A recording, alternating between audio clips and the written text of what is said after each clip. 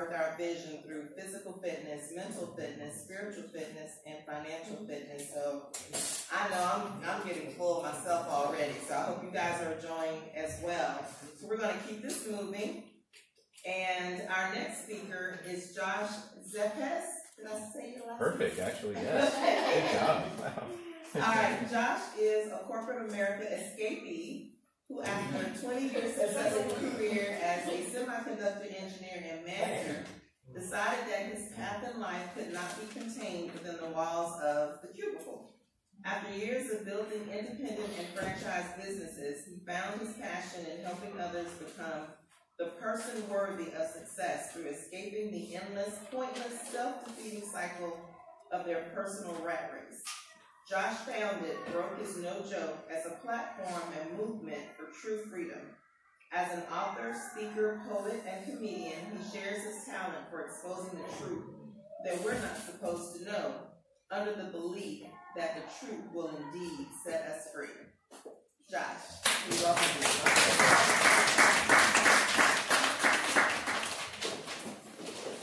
I just want to officially second everything.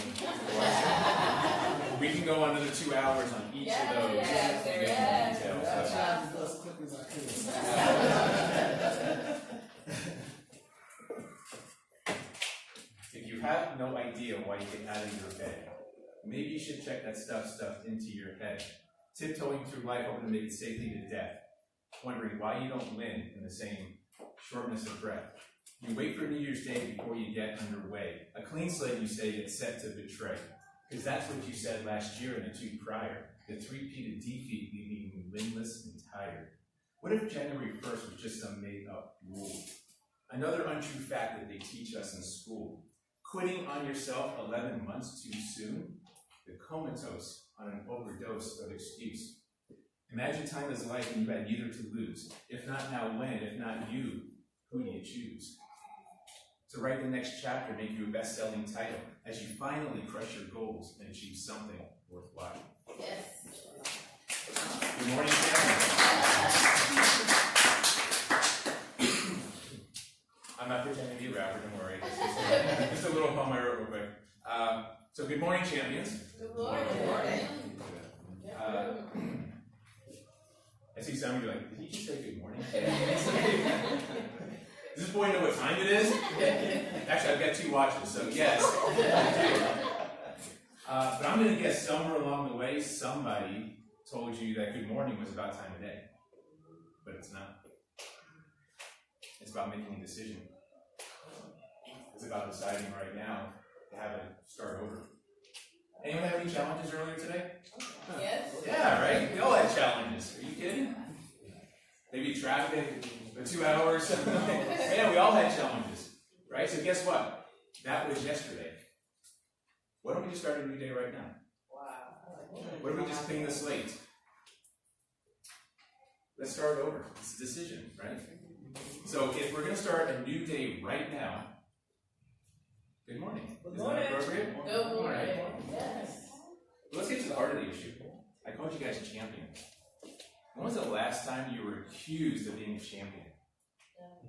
Doesn't happen that often, does it? It does not happen that often. I know some of you are thinking, well, besides what's this guy talking about, but so you're thinking, he doesn't know me. This guy's talking up here about me being a champion. He doesn't know I'm behind on rent. He doesn't know that my kids don't talk to me too much anymore. He doesn't know that every day I wonder if it's worth it. I wonder if there's a way out of having multiple jobs or fighting the fight. I'm tired of fighting the fight, Josh. You're right. I don't know you, but I know you. I know where you came from. I don't even care what you guys call it. We're all from the same source, would you agree? Yes. whatever you call it. And that source is, was, and will always be a source of greatness. That's where we came from. Now, do you have to become that champion? Do you have to take advantage of that? No. I'm not here to tell you you gotta do that. Don't have to do that. We can shirk. We can shirk our responsibility, our greatness. We can hide it. but that would be a shame. That would be an absolute shame. Because that's where I was. That's where I was. For 37 years, the first 37 years of my life. You see, I wasn't always a freedom fighter. Before this, um, I did 20 years, well, 19 technically. 19 years. 19 years looking at gray walls. 19 years of being on my best behavior. You guys know what I'm talking about? Corporate America. That's right. And I don't have a corporate America sob story for you. I'm not here to tell you how terrible it was or any of that kind of stuff. I was actually successful. I climbed the freaking ladder. At the end of my career, multi, multi, six figure, stock options, party, everything you hear about, right? And I thought I had it made. And then one day, everything I thought was right wasn't so right. I wasn't as happy as I wanted to be. I wasn't as wealthy as I needed to be. And I sure as heck wasn't free. And that is, ladies and gentlemen, that's my favorite F word nowadays. It was, a, it was a different F word back then, I promise. But right now, my favorite F word is freedom. So I had to escape. I had to get out. And took a series of wake up calls.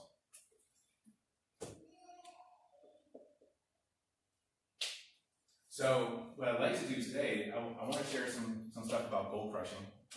And should you listen to me? I don't know. Probably not. But if you, I want you to say, if you could find one nugget, one thing you can take away from our time together, our life we're spending together, just one, and plant that seed. And if that one thing, that one seed, when you plant it, it creates a harvest for, your, for you or for your family.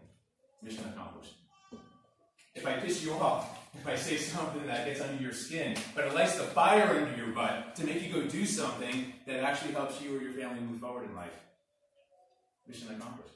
I'm happy with that too.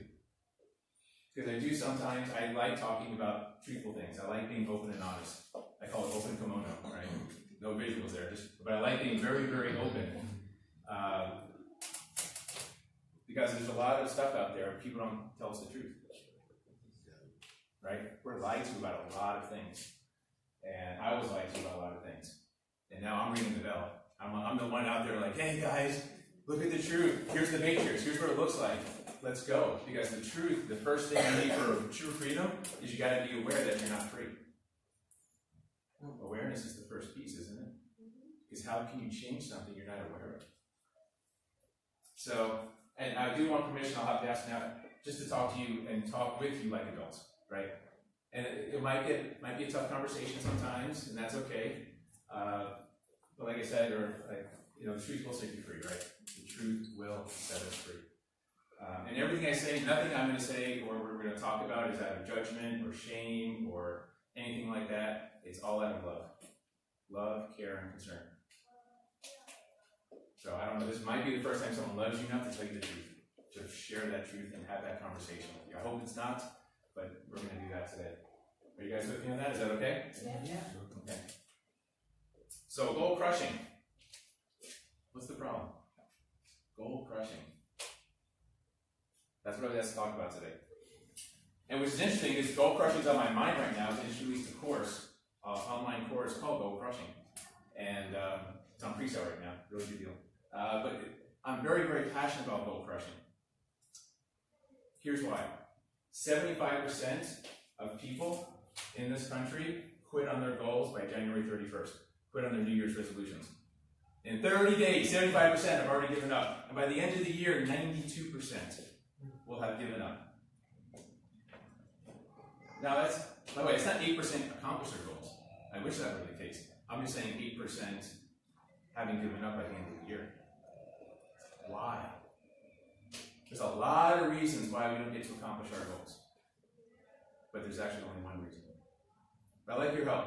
What are some reasons why people don't accomplish their goals? I'm gonna write these down. Lose focus. Lose focus. That's That's really good. Lose focus. Okay. Why else? Guilt. Guilt. Okay. Procrastination. Uh, the biggest nation in the world. I love it. Procrastination. No plan.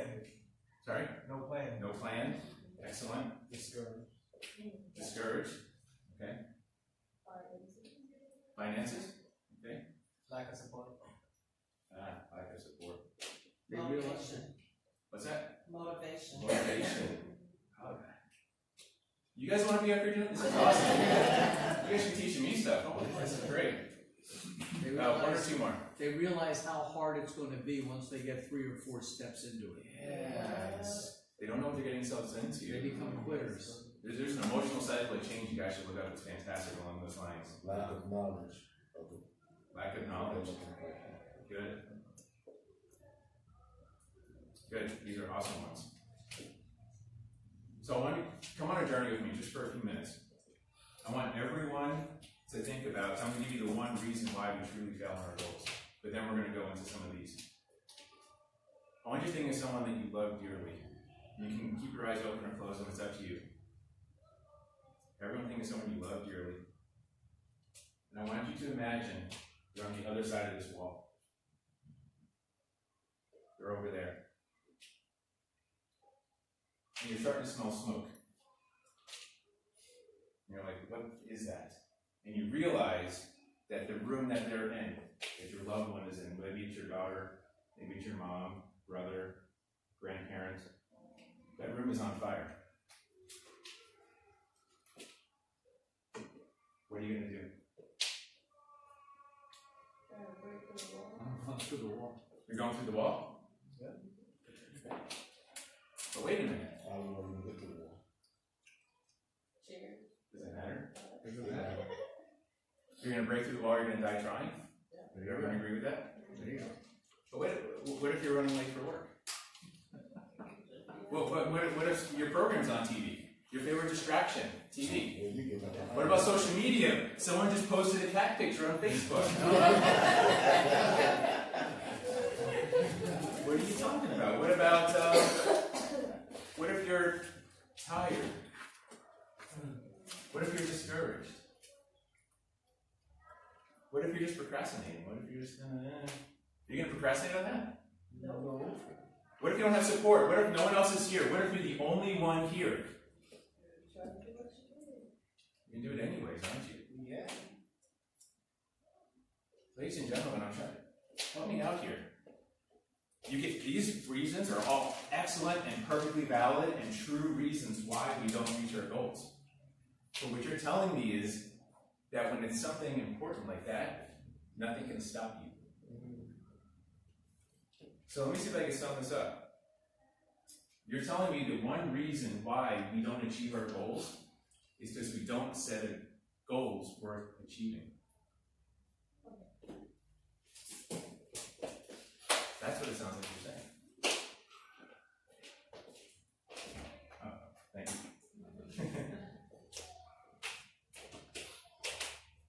Does that make sense? When it's important enough, we cannot be stopped. Now, these other things you mentioned, these are important also. Might want to talk about those. But for the remaining of my time, I want to talk about the three most important questions that you must ask yourself if you want to achieve anything. And I want to dive into these questions a little bit, and then I want to open up for Q&A about anything. Anything goal related, goal crushing, things that are on your mind. Um, hope you're taking good notes with Mr. White and with me, because they say the sharp, uh, the dullest pencil better than the sharpest mind, right? I'm always, I'm a note taker, like I take notes on everything. Uh, So these three questions, if you can't answer these three questions, you're gonna have a really difficult time actually achieving your goals.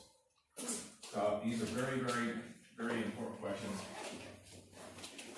And if you want any details on them, you can go into more detail. Let me know when you guys ready for your first question.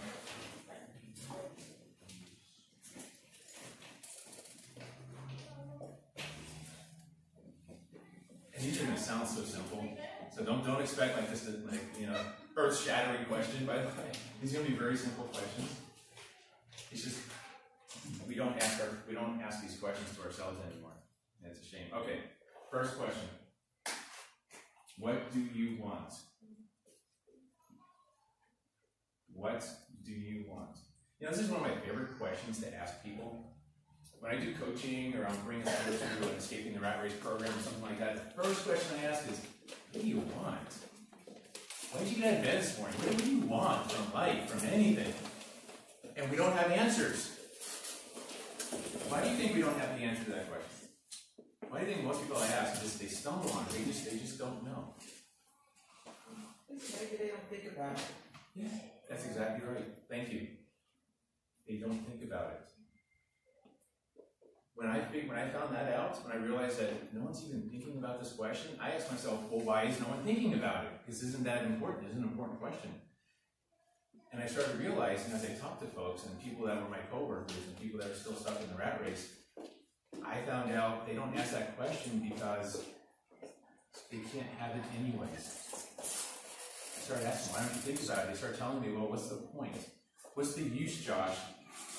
We're in a society where a lot of people are hopeless. Why am I going to think about the nice house or the car or the life or being on the beach or all the stuff that's my passion if I can't have it anyways? Because that's depressing, Josh. I'm at, why did I think about I'm at a job where I'll never get to that place. I don't have the vehicle to get there. So we don't ask the question anymore. We just give up on asking. Instead of asking it and finding a way, we stop asking. We give up. So this is one of the most important questions you can answer. So what do you want? And I mean specifically, not what do others want for you? Be careful, that's an easy one. Well, my mom always says I should do this. No. Thank you, mom. That's for mom, right? Not what others want for you, and not what you think others want you to do. But in your heart of hearts, when you're alone, when you're journaling, when you're sitting by yourself, ask yourself that question. What do you want? Because what is the destination, isn't it?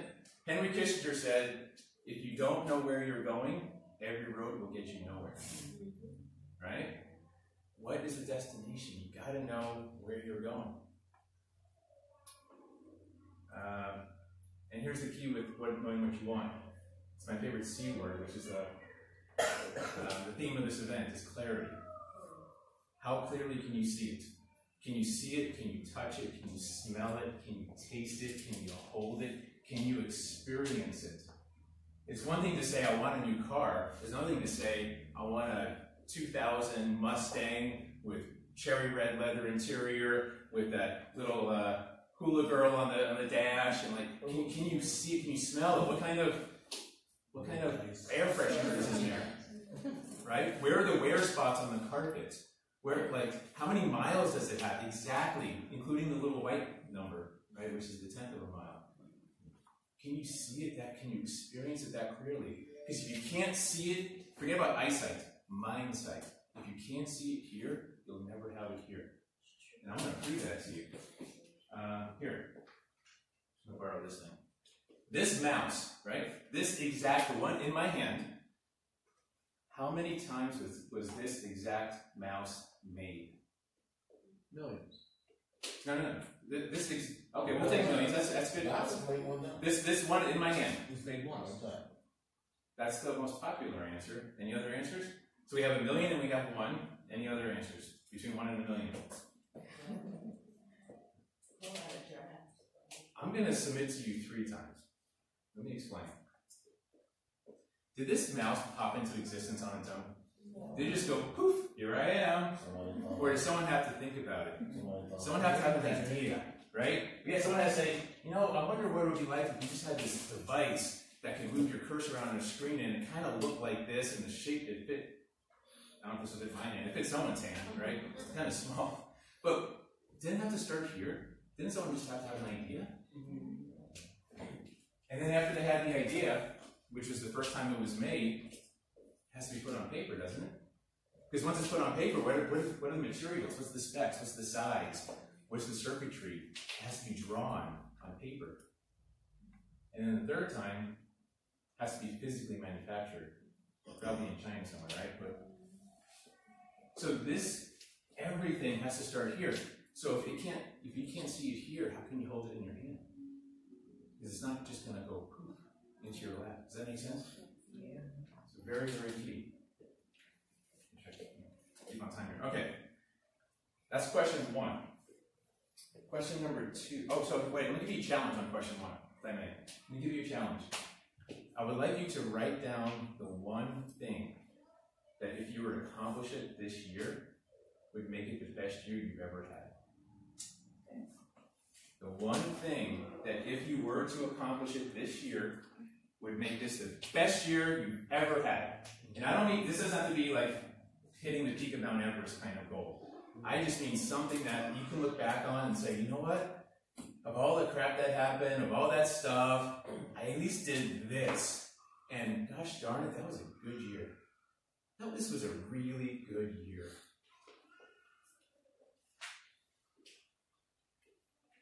Take a second, write down that one thing. If you have more than one, that's fine, but at least have one thing. When I do goal setting for people, when I set up do classes, I always do five F's.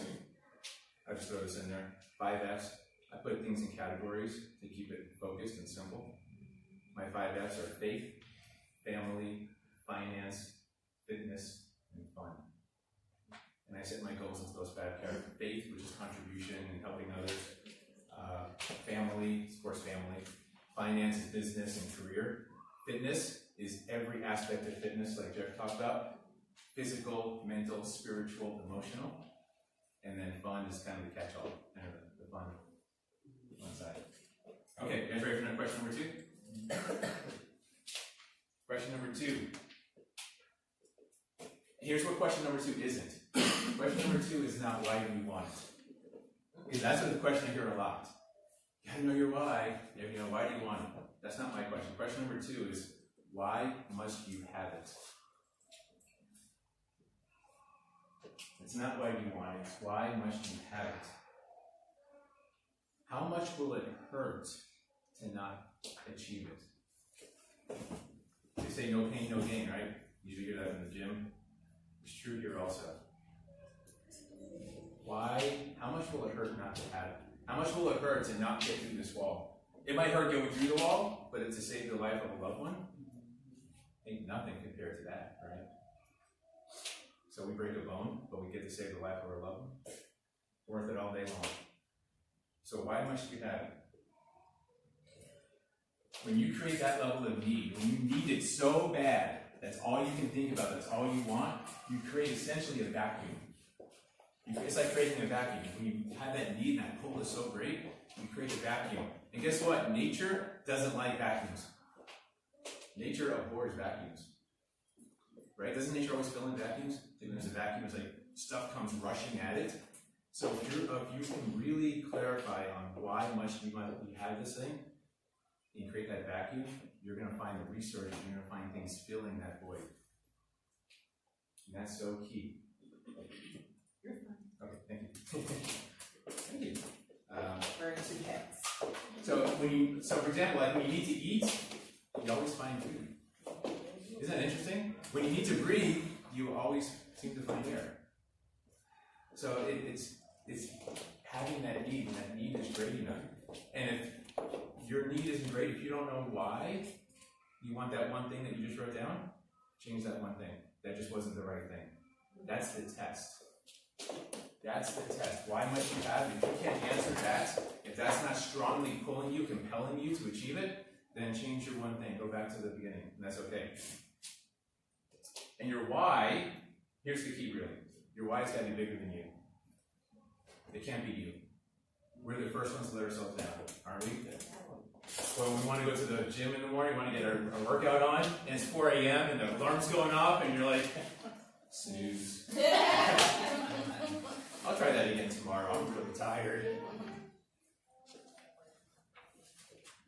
But if you just talked to your doctor the day before and said, if you don't start working out, you're not going to see your daughter go down the aisle and marry her man. You're not going to go see your granddaughter graduate from college. It's a little different why, isn't it now? It's not about you.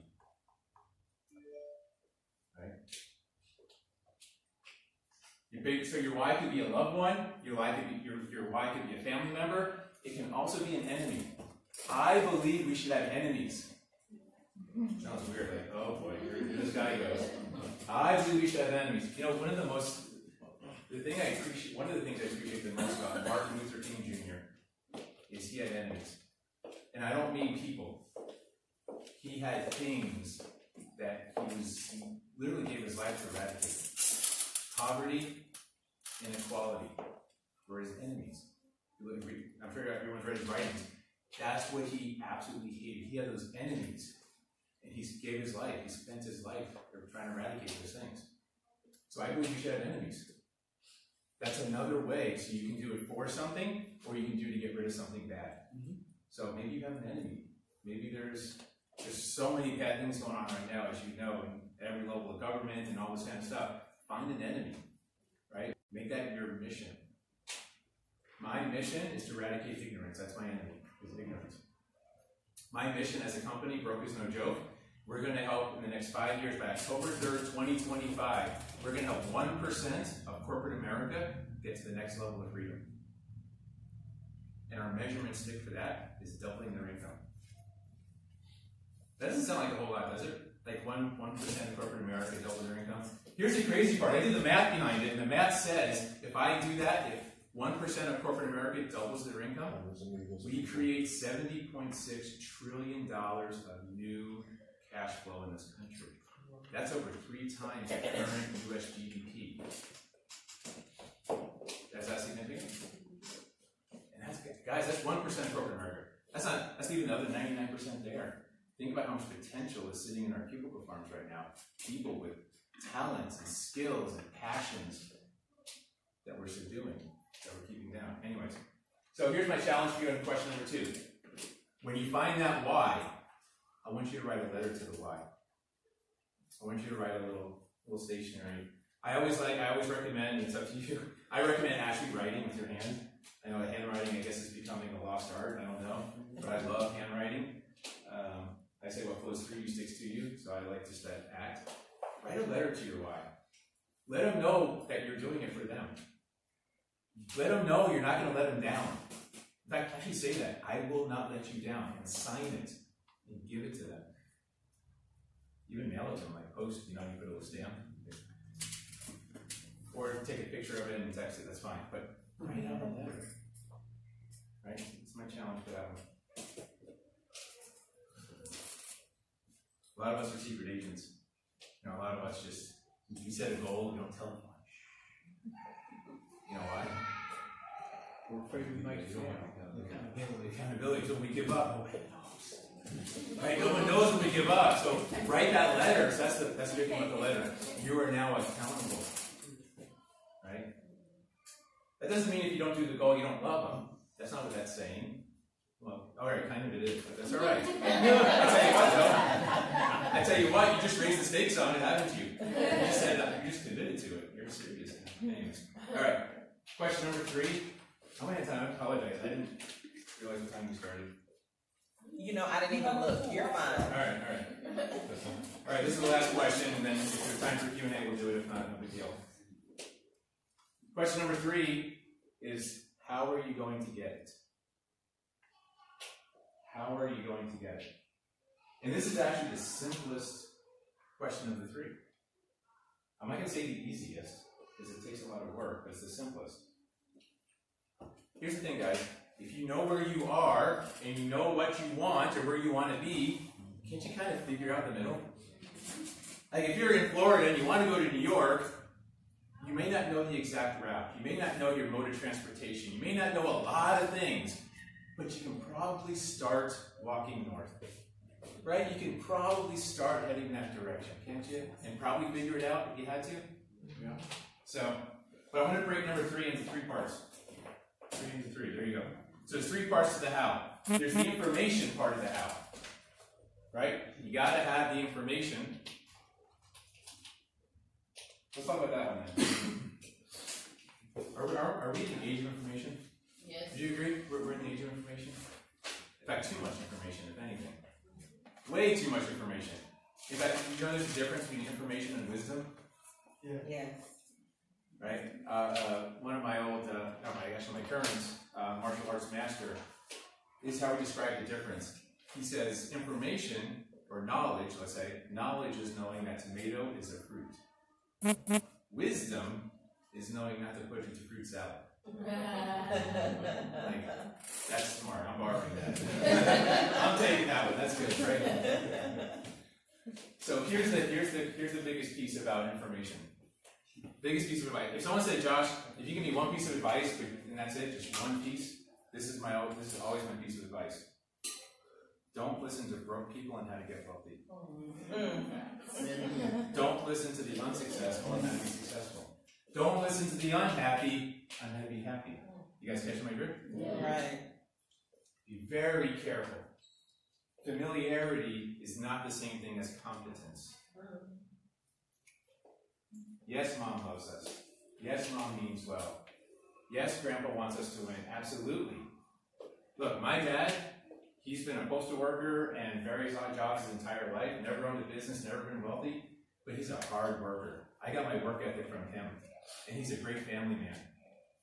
But I'm not going to go say, hey, dad, how do you become wealthy? Right. How do you open up a business? How do you do? I'm not going to ask him that. He's just not the right person.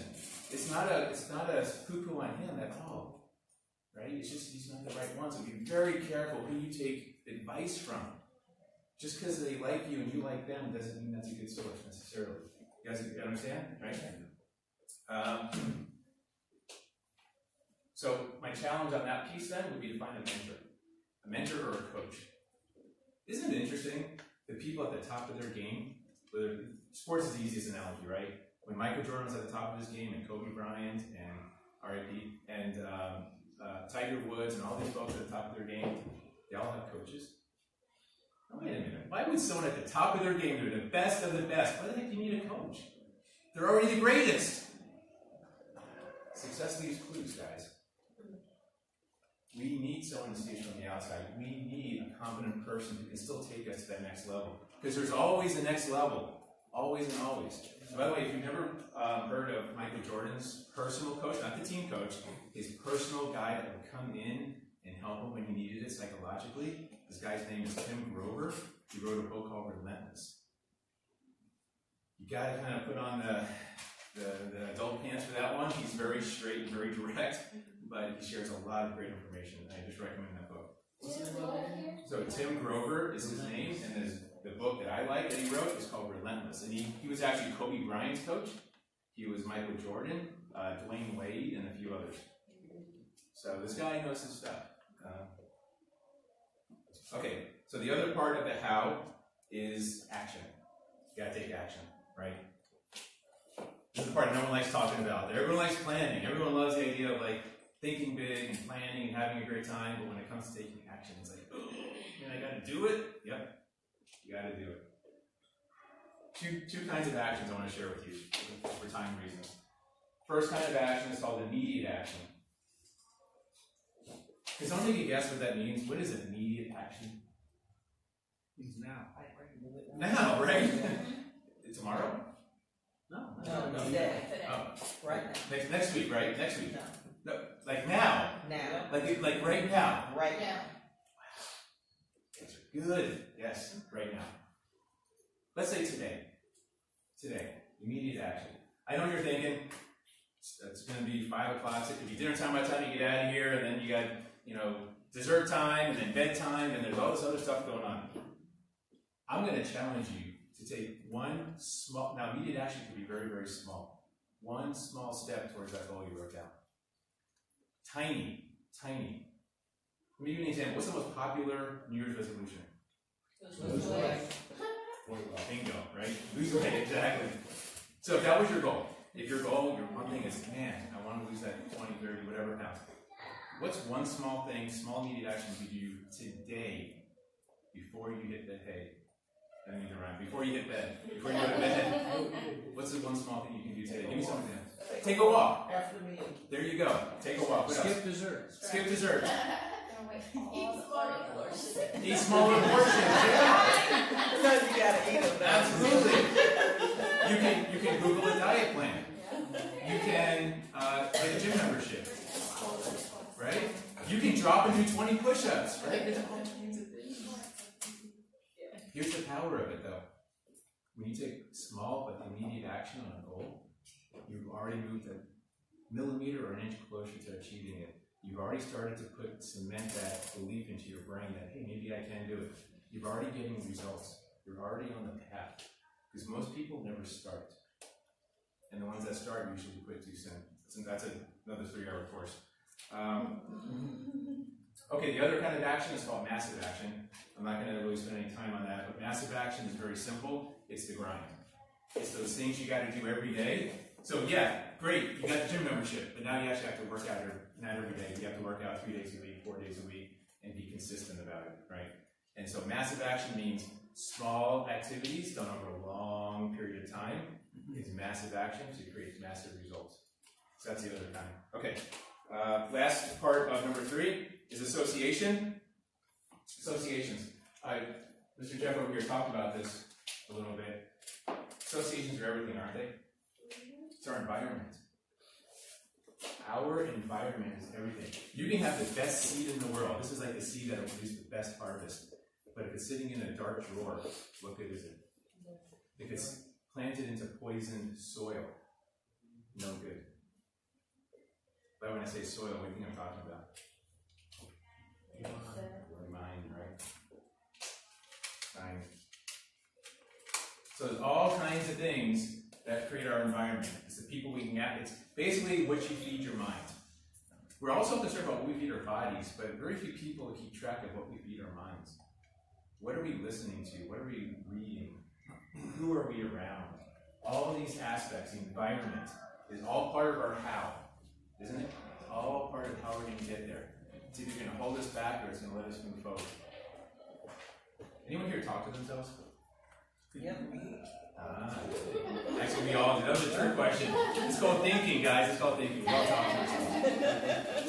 question is, what are you saying to yourself?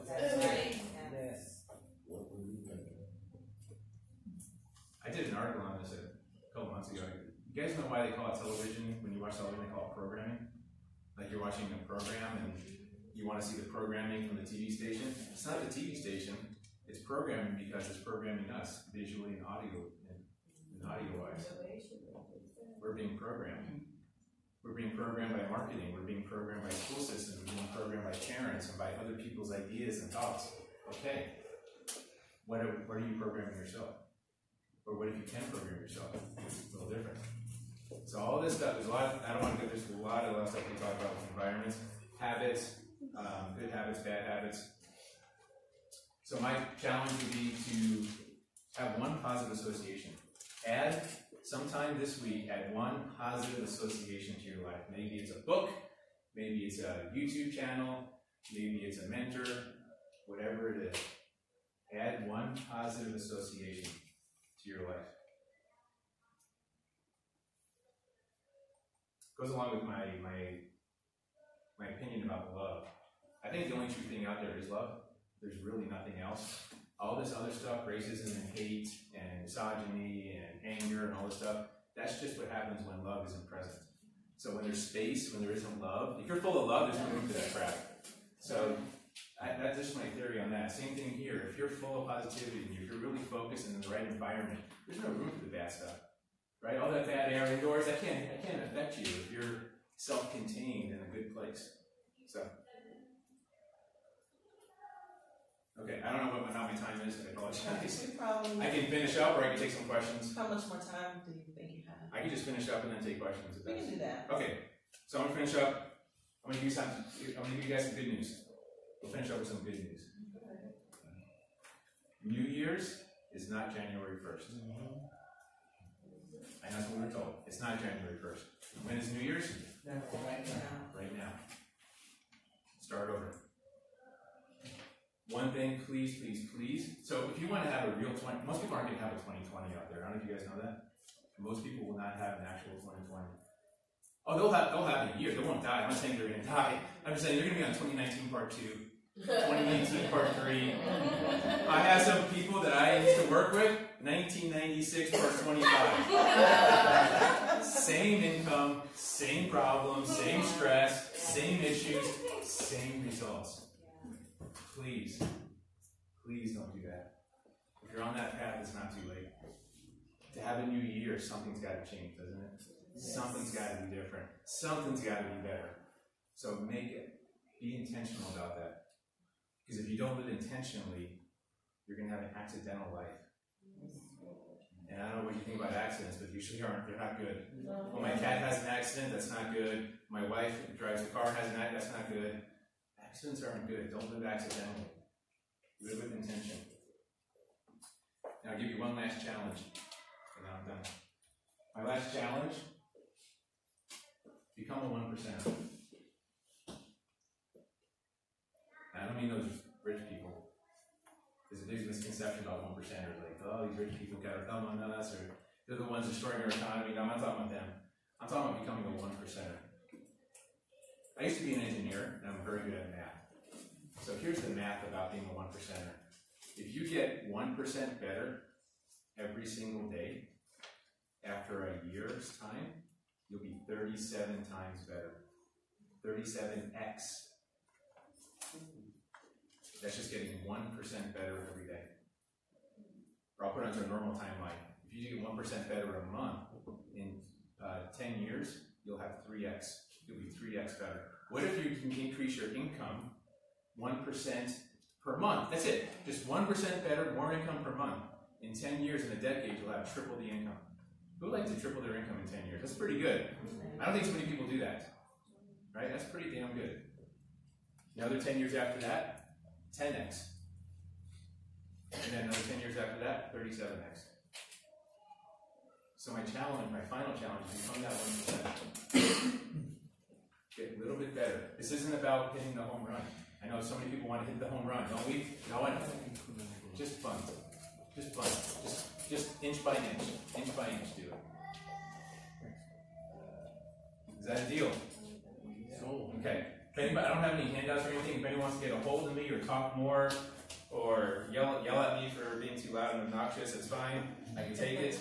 Uh, you can text me, and you'll get all my contact info and access to my calendar. And there's actually a free ebook on my on my thing. But if you text B I N J for broke is no joke, B I N J to six four six hundred, you'll be able to contact me and we can get into more detail and have a more fun conversation. I wanted to keep us on time here, so I'm open to any questions if you guys have. Otherwise, I'm just blessed and honored to even be here and share time with you. Anyone have any questions? Yes. So how do you help businesses or individuals that looking to accomplish certain goals? Like if they, when they come see you, what's the process? It's very similar to what we just did. It's what do they want? Um, make sure it's, it's in alignment. I always do things that are in alignment with the person. So if they want something that's not in alignment, we have to kind of review that. And then the process is the how part is really where I come in. The how part is the how's been done. Whether it be business, everyone's got the same issue, honestly, in business. They don't want to prospect, or they're afraid to talk to this person, or they don't know how to close a sale, or they don't how to do any of these things. And it's just giving them those skills, walking them through, grabbing by the hand, doing it together. Um, and that's really what a coach does. A coach doesn't tell you what to do. The coach asks you the right questions to give you those aha moments, and they grab you by the hand. Like, Come on, let's go. I've been here before. I know this looks scary, but I've been here before. Come on. So how long does the consultation or? How long? Do you Is, call it how long? consultation How long does or- it? Uh, the consultation is is a couple hours. Um, I thought you were asking how long success takes. No.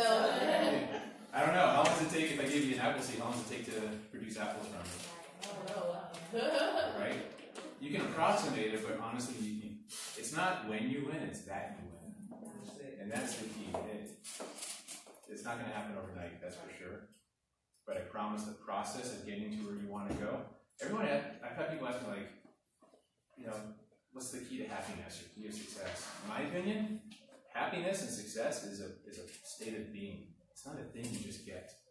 So the process of moving from where you are to where you should be or want to be or the best version of yourself, that process is happiness.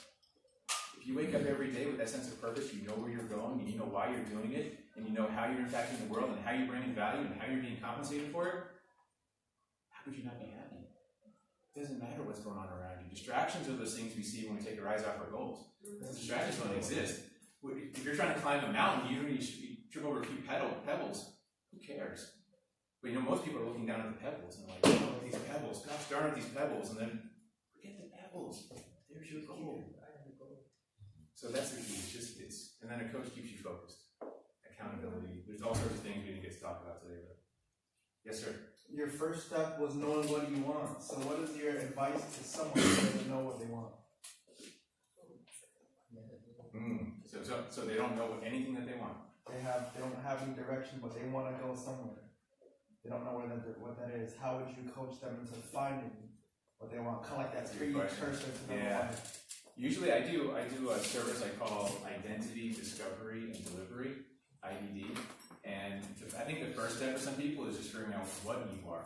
So before what do you want comes what are you? Not who are you, because that's usually just what you were told growing up. And not what do you do, because that's just a name on your business card. What do you, you are not what you do.